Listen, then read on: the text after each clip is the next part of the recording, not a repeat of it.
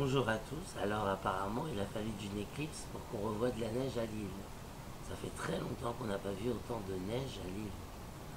Alors je vous fais cette vidéo, c'est pas pour parler du climat ou de, des éclipses, c'est pour vous parler de la désinformation. Alors effectivement, dans les cas comme, comme le nôtre, les cas de crise économique, de conflit, de guerre, qu'est-ce qui se passe? Il y a une guerre de l'information.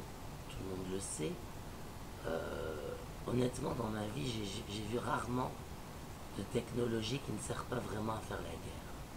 Même une, lampe, ça sert d'éclaireur. Même euh, une radio, c'est de l'information. Le téléphone, c'est de l'espionnage. J'ai jamais vu de technologie qui ne sert pas à faire la guerre vraiment. Et la, et la guerre de l'information est là pour informer. Parce qu'il y a des gens qui sont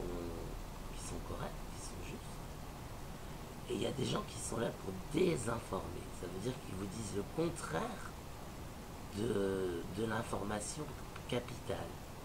Alors heureusement, heureusement je dis bien, il existe des académies, bien sûr, la France surtout, c'est un pays académique, qui font des dictionnaires avec les définitions des mots, des encyclopédies, avec les connaissances, l'histoire. Mais malheureusement, nous traversons quand même une période d'un petit peu d'obscurantisme. Mais avec ça, vous pouvez déjà vous en sortir. Dictionnaire, encyclopédie. Ensuite, esprit critique. Varier les, sources d'information. Je vous assure que euh, sur un même mot, on peut ne pas être d'accord, même avec quelqu'un avec qui on a les mêmes opinions politiques. Voilà. Euh, je ne vais pas donner d'exemple précis parce que c'est des mots salis, mais euh,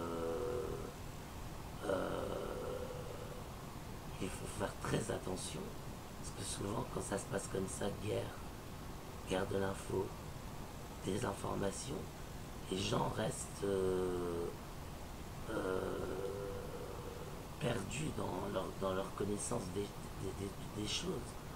Et donc euh, les diplômes, ça sert, mais s'il de la triche au diplôme. Moi, votre garantie au niveau de l'information que je vous donne, c'est que vous avez le logo Creative Commons, et sur Star of Service, je suis super pro. Parce que je propose des services gratuitement à mes, à mes clients.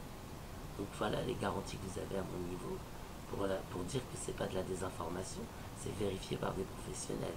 Le logo Creative Commons, c'est pas tout le monde. C'est vraiment quand le cours est de qualité et qui peut être utilisé à des fins euh, d'enseignement.